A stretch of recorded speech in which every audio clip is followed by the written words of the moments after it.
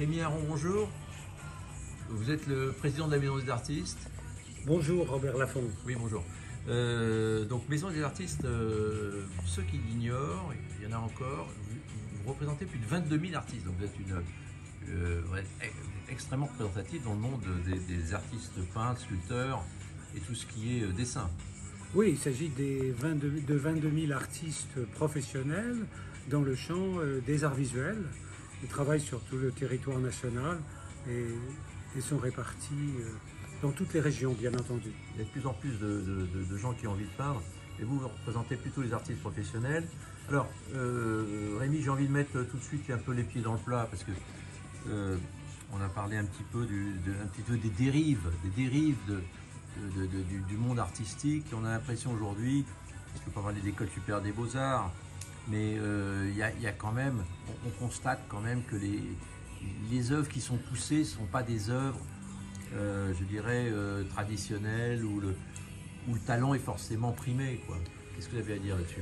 Écoutez, je, je- pensais ce matin, en venant vous voir euh, dans le métro, je me disais que nous avons à peu près la, la même situation euh, que nos amis euh, agriculteurs. Nous n'avons euh, malheureusement pas de tracteur pour nous faire entendre. Il faut revenir au réel de la création des arts visuels dans ce pays. La Maison des artistes représente la création des arts visuels dans la réalité euh, du fonctionnement des artistes dans leur atelier, chacun dans leur atelier. Tous sont là de ceux qui feront dans les années qui viennent l'histoire, l'histoire culturelle et l'histoire des arts visuels de notre pays. Prenons les choses à peu près dans le même sens que les agriculteurs. Revenons au territoire, revenons au réel de la création à tous les niveaux de la société. Vous trouvez qu'on n'écoute pas, euh, finalement, vos artistes de, sur le terrain euh, ont laissé la place plutôt à des, à des théoriciens, euh, bon, certains les qualifieraient de wokistes, mais peut-être pas jusque-là. En tout cas, on, euh, le- le- le- c'est- on gomme un petit peu la tradition, la discipline, l'enseignement. Vous parliez de, de la Chine qui fait un énorme travail sur, euh, sur la formation des artistes. Vous trouvez qu'on est en train d'abandonner un petit peu tout ça en France? Je vous parlais euh, tout à l'heure de, de la visite que j'avais faite il y a quelques semaines Ouais. à l'école des beaux-arts de Paris pour la présentation de la quintessence absolue de ce qu'est l'éducation artistique dans ce pays. L'école des beaux-arts présente les diplômés de l'année 2023 et plus que les diplômés, les félicités par le jury. Il y a une espèce d'indigence, d'indigence institutionnelle qui est celle de l'éducation artistique dans ce pays. Et je vous parlais de la Chine. Au plan international, je pense que la France, euh, l'éducation artistique en France, pour ce qui est des écoles des beaux-arts, est en train de filer du très mauvais coton pour l'avenir. Je fréquente beaucoup la Chine depuis plus de 20 ans. J'ai visité beaucoup euh, d'écoles des beaux-arts en Chine. L'éducation artistique commence par le dessin, le dessin d'après nature, la peinture d'après nature, la sculpture d'après la figure et les bases traditionnelles de la de l'éducation artistique, de l'initiation aux arts a toujours une énorme place en Chine. On verra ce que font les artistes ensuite, mais ils sont globalement très bien formés. On, on- on néglige la discipline dans les, dans les écoles de beaux-arts aujourd'hui? On a perdu toute notion de discipline. Ah, On a perdu On tout. a, on a perdu toute notion de règles, on a perdu toute notion d'apprentissage. Comment, comment euh, ces jeunes étudiants euh, comprennent et, et peuvent apprendre à dessiner la forme dans l'espace Ils ont perdu la pratique du modèle vivant, ils ont perdu la pratique du, du dessin d'après nature, alors que le travail d'après nature, c'est la propédotique des arts. C'est là, c'est- là où quoi, les arts visuels, euh, où un artiste qui veut se consacrer aux arts visuels commence à apprendre le langage. C'est cette confrontation avec la nature qui est nécessaire. Pour ensuite venir à la composition, venir à toutes les écoles qui ont, fait l'art moderne à travers le XXe siècle, bien entendu. C'est pas du tout pour nier l'art conceptuel, mais la pratique première, c'est la pratique du dessin dans ce qu'on appelait au XIXe encore les arts du dessin. On est en train, à vous écouter, on est en train de détruire euh, notre savoir-faire en matière de, formation euh, des beaux-arts. On détruit notre formation, Ah on oui, détruit notre euh, appréhension poétique de l'univers, on détruit la conscience de l'épaisseur du monde que, sont, que tente à explorer le dessinateur. Le dessinateur essaie d'explorer l'épaisseur du monde, la forme dans l'espace. C'est quelque chose qui n'est pas euh, un langage abstrait, c'est pas du chinois comme disait Picasso. Êtes C'est quelque chose qui s'apprend.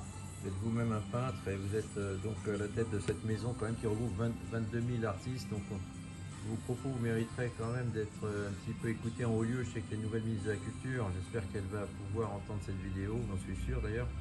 Euh, Dites-moi, euh, euh, Rémi, Rémi Aron, euh, alors ça c'est pour illustrer un petit peu ce que vous dites sur les dérives euh, de, no- de notre formation en beaux-arts qui, gomme un petit peu la, la discipline et, le- et- et un peu le savoir-faire, la grande tradition de l'école française d'ailleurs.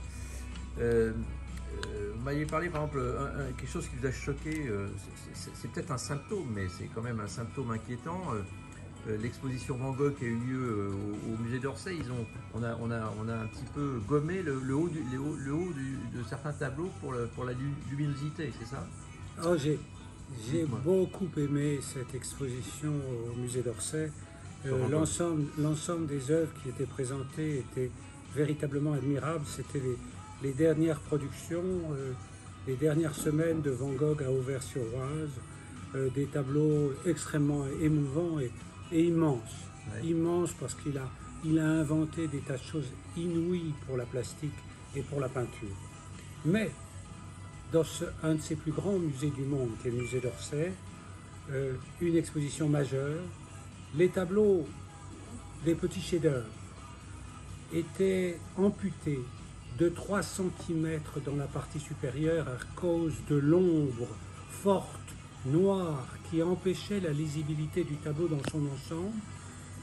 Je trouve que d'avoir laissé ça dans cette exposition que je répète magnifique, pour la jouissance même d'un artiste ou même d'un amateur, couper un tableau.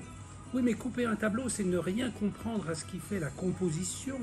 Van Gogh a été un immense compositeur et on sait quand on lit ses travaux, quand on regarde sa peinture, combien cette notion de la composition lui tenait à cœur. Si on ampute d'une surface 3 cm, on a l'impression que le tableau est coupé.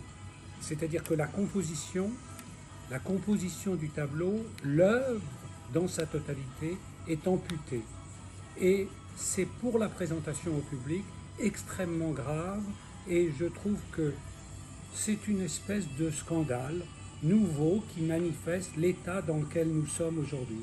Oui, alors d'ailleurs, euh, merci de, nous le révéler euh, un peu en exclusivité, parce que c'est vrai que la presse n'en a pas, a pas malheureusement parlé. D'ailleurs, je profite, de l'occasion pour dire qu'on va sur entreprendre.fr, et j'en suis très heureux, on va probablement euh, vous donner une chronique régulière de la Maison des Artistes, parce que euh, d'une part, vous représentez euh, 22 000 artistes, donc c'est, là, pour le moins très représentatif.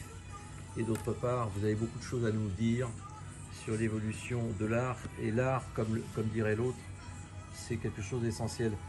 Et euh, peut-être un deuxième euh, mini-scandale en puissance que, dont vous m'avez parlé, c'est euh, et vous avez des inquiétudes sur la restauration de l'œuvre de Delacroix, sur la fameuse œuvre de Delacroix, sur la liberté guidant le peuple. Vous pouvez nous en dire Oui, plus? oui, je dirais que, que l'essentiel de notre fonctionnement à la Maison des artistes, c'est d'ailleurs d'abord de, de soutenir les artistes sur tous les territoires. C'est vraiment quelque chose de très important et on a plusieurs projets dans ce sens.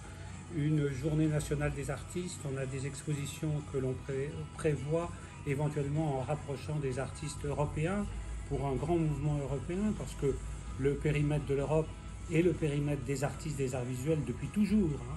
Les artistes sont allés euh, de Hollande, en Italie, en Espagne.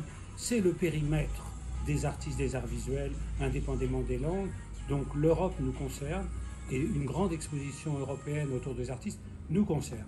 Mais ce sujet dont je, de- je vous parlais, bien sûr, c'est l'actualité, c'est le Delacroix. C'est-à-dire que le- le- la direction du Louvre a,